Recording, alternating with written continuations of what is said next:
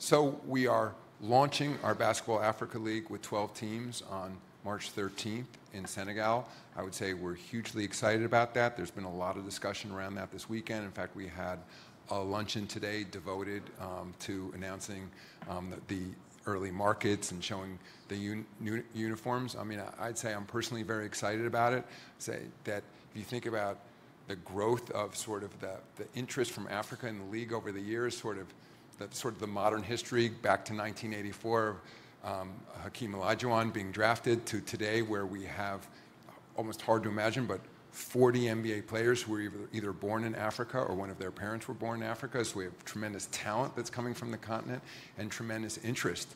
And so um, it's a market where um, the league has spent a lot of time over the last several years. We opened it. It's actually the 10th anniversary of when we opened our office in Johannesburg, and um, we see great opportunity. I think this is just yet another area where, you know, back to when I was talking about Kobe and him being at the advent of the internet, this is sort of the really, truly transformational nature of digital media, where now you have in Africa, you know, an estimated 700 million cell phones, and I think the last I looked, you know, 450 million or so of those phones are smartphones.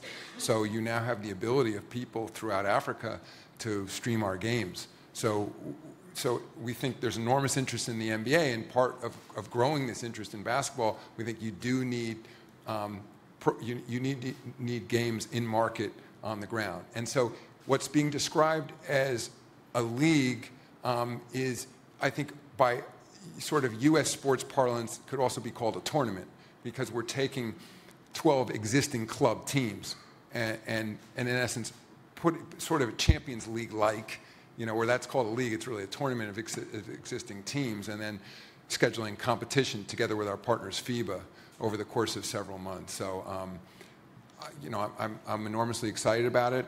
Again, I think that it will both serve as standalone programming, but I think also serve, to your question, as a pipeline of talent into the NBA as well.